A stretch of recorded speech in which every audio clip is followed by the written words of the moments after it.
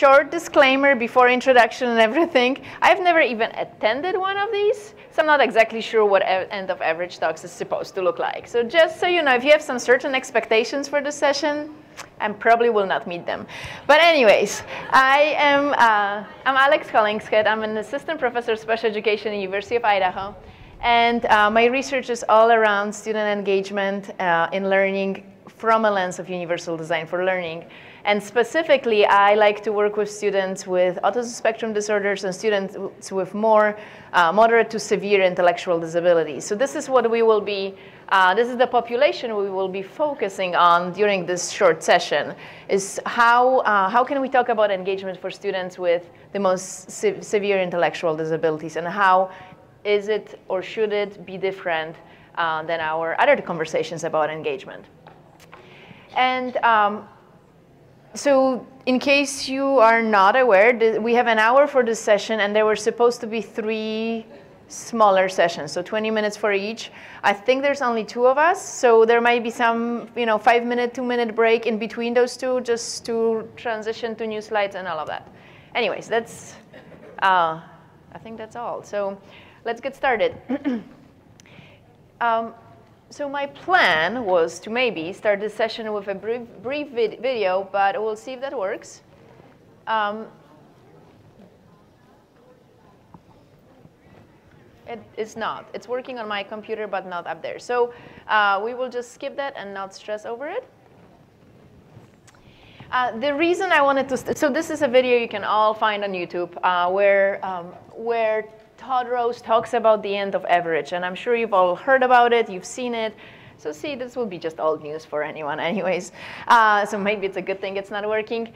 And um, the reason I wanted to start with that is because um, to kind of shift this message about stopping to design, to design for average to how we talk about engagement. Because often in our classrooms, we uh, we talk about engagement in terms of our average students, right? Those, or those quote unquote average students. Um, so, but then once we start talking about any of the students that are maybe a little bit different than the quote unquote average, or outside, or on the margins, or however you want to phrase that, um, we start talking about engagement differently. And um, and what I wanted to start this conversation with is maybe shifting our mindsets to to employ this, this, okay, let's stop talking, let's stop designing for average students. Let's stop thinking about engagement um, in different categories. Let's, let's, let's talk about engagement of all of our students, those students who are excelling, those students who are gifted, as well as those students who are receiving maybe more average scores in their testing, and the students who are struggling, and maybe the student, and also the students who are struggling very much. And let's, let's let's see how we, uh, how we think about all of those students in our classroom. And uh, as you all know, the uh, federal legislation uh, brings it up. And then during one of the tech talks this morning, I really like how it was phrased about engagement being the very first step to learning. When we have high expectations for all of our students, when students are engaged, there, uh, we should be expecting to see actual learning outcomes for all of our students.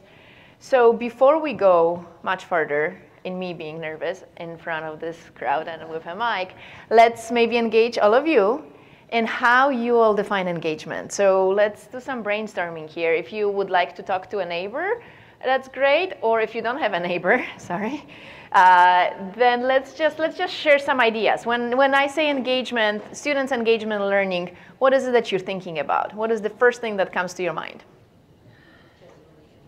Genuinely interested. What else? Sense of belonging. What else? Just speak. Active. Listening. Okay. What else? Conversation. Conversation. Asking questions. Comfortable. Right. Providing, providing answers. Okay. And anything else? Relevant. Relevant. Any, what else? So as you see, what's really interesting, these are excellent answers. And what's really interesting is those answers are um, across the spectrum, right, of different ways to engage students. So from very academic, like answering, answering questions, to sense of belonging and, um, and feeling relevant and so on, right? So a spectrum of, of, of options for how to be engaged, right? So um, when we look at research uh, on engagement, we, um, we can identify different ways researchers, researchers talk about students being engaged. And they talk about things like attending to learning tasks, uh, they talk about things like body orientation, either to this to the uh, teacher or to materials or peers if they are working with peers. Uh, staying on task. When you lo look up uh, research on engagement, you often will find things like the students being on task or not being on task, right? Um, and then self-monitoring that on-task behavior is also sometimes an option. Following directions, and and the physical um, attention in terms of sitting and you know, keeping hands to yourself, feet to yourself, and so on. And, uh, and that's, all, that's all great, right? That we listed some of these features, not all of them. Um, but when we start looking a little bit outside of special education literature, we realize that people talk about engagement in a much broader context. And they talk about engagement as having multiple pieces. The, the behavioral and academic piece, right? So students are sitting, all of you are sitting, right? This is, this is the behavioral piece, and you're keeping your legs down very nicely and your hands to yourself. And eye contact, oh my gosh, Alisa, thank you. Uh, so this is all the behavior pieces, right? That's part of being engaged. Another part of being engaged that's just as important is the piece that this, this lady here mentioned, answering questions, asking questions, uh, processing information, right? So the cognitive piece of engagement. And then another piece that none of that would be enough if we didn't have the piece of sense of belonging and, um, and the feeling relevant. And so the emotional pieces, being motivated to learn, right? And that also was mentioned in one of those tech talks this morning, um, how important the emotional piece is to learning. And so, one, so when we look at literature on engagement, for many students, we see this, this broad concept of those three categories. And how I, I really like to look at it also is, you know, that so, so well connects to UDL when we talk about multiple means of engagement, right? multiple ways to engage students and also multiple layers or multiple types of, types of engagement. Now, there's a problem in literature and also in reality in the classrooms when we start thinking about students with more severe intellectual disabilities. Well, first there's a problem because sometimes we can't find those students in general education classrooms. Very often we can't find them. But now when we find them, we realize that expectations for their engagement in the classroom are very different. And then it is enough for those students, or so people think, to make sure they are sitting, they are refraining from hitting somebody next to them and keeping legs to themselves and eye contact. That would be really nice if they made eye contact. But that's about it, right? Our expectations stop there because, um, and we stop talking about the cognitive pieces of engagement, we stop talking about emotional pieces of engagement, and that is just not okay.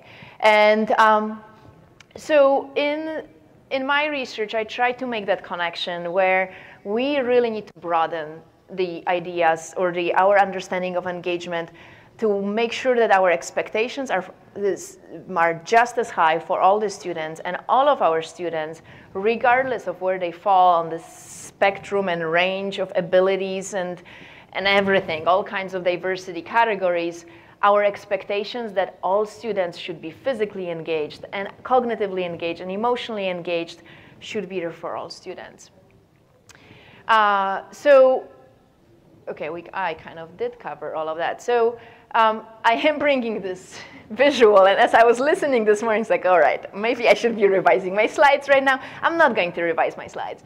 I do love this visual. I talk about it from different, different perspectives. I'm sure as all of you have heard it kind of br brought up to the conversation in different ways. Um, I like to talk about it as, you know, in a form of removing barriers, right? So we can, uh, you know, inequality, we can give supports, the same supports to all the students, right? In equity, we can uh, give appropriate supports to students who need it versus those that don't need it. And then in the UDL, from UDL perspective, we can think, okay, well, there's really no point for there to be a wooden fence. We do need some kind of fence for safety, so let's redesign the type of fence we're using, the environment we're in, and then everyone can, um, can access to, to see the game. Um, so I like to think about it for this particular presentation or for this topic in terms of removing those barriers to engagement, right? So uh, changing our expectations and changing our, um, well, I guess there's no better word than expectations. Making sure we have high expectations for engagement for all of our students, regardless of their ability level, regardless of, um, of where they are coming from, their background knowledge, and so on. And uh, so what would be some of those barriers? And um, a few years ago, uh, Alisa Lowrey, who is not paying attention and being engaged, I am publicly shaming you again. I am so sorry. Anyways, everyone, this is Alisa Lowrey, and she's amazing, and I am not publicly shaming her. I'm uh, advertising who she is. anyway, so uh, we were um, talking about engagement and barriers to engagement at, uh, at the CAST symposium, actually. That's where this list came from. And so we identify some possible barriers to many students' engagement. Uh, and so some of these would be uh, in, in terms of instructions when we provide information, directions that there's too many directions or not enough directions. If we provide directions in just one way in, versus multiple ways so that students can uh, access it from different points uh, in, within the activity um, where, um, where we don't provide students with those cognitive supports, right? Uh, so then we are lowering or eliminating or kind of squelching, that's not the right English word, whatever. Um, the cognitive piece of engagement, right? Where, where students just, just motivated are not really pushed to, to really cognitively engage because we are not giving them enough supports. There are those barriers to cognitive engagement and those you know, things like not providing them with graphic organizers or visual support or only giving verbal directions versus, versus multiple ways of directions and having a visual and so on and so forth. Um, and then similarly, when we, um, you know, barriers to emotional engagement would be things like not having connection to the instruct to instruction, not for instruction not to be relevant, or not really drawing on background knowledge. So where students don't really have a great connection. And uh, one of the my one of my favorite examples is um, by my former student who, upon graduation, went to work in Alaska and. She, um, she told me the story about trying to uh, teach her students.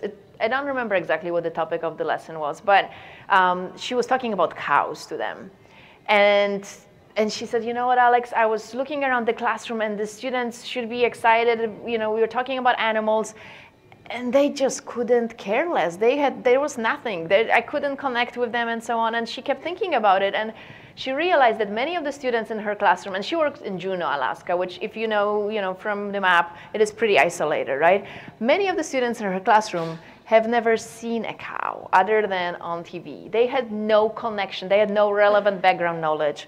And so when she introduced the same topic a few days later and started talking about whales instead of cows as the example animal in that whatever topic that was, I can't remember, maybe I should find out. Uh, and suddenly everyone was engaged because they had that background knowledge, right? They had something that was relevant to them. They had something to connect to. And that emotional engagement piece was activated so much better.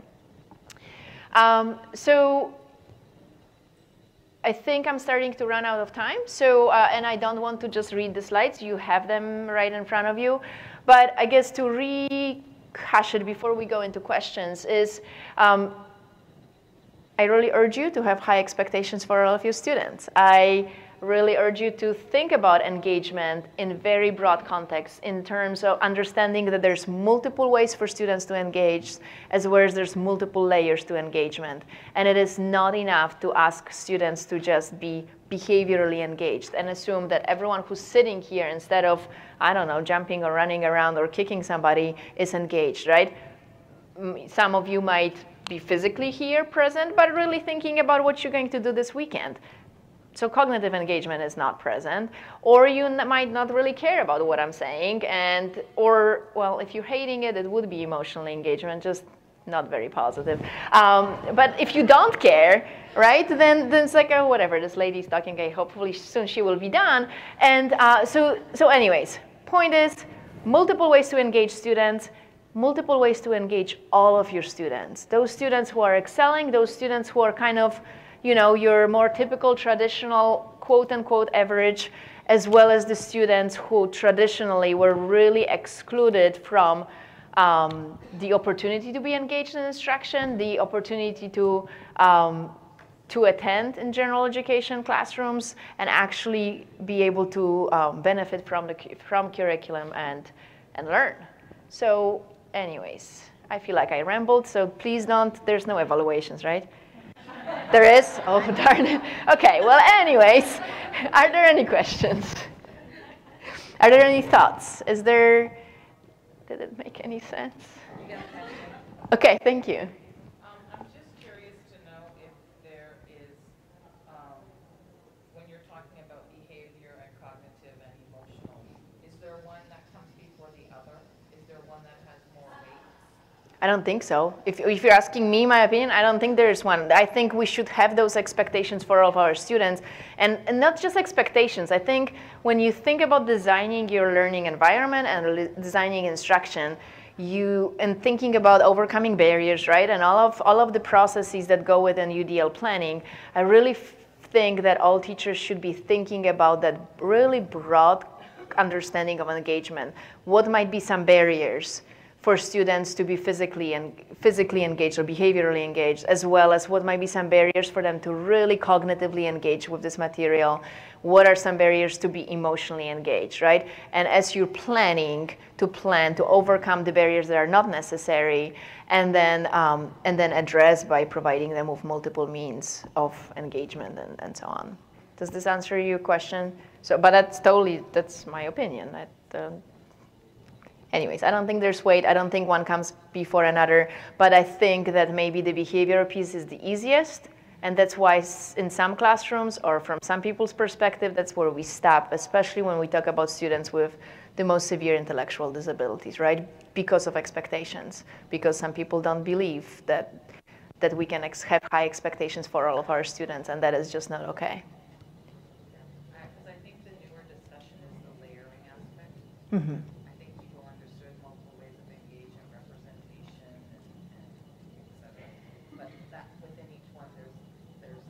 Right. And maybe a sublayer of a layer. You know, like they're not going deep enough. Mm-hmm. Yeah. Thank you. Thank you for that comment and question. Any other comments, questions? All right, then I will start stop rambling, and now you have an actual really good speaker. So.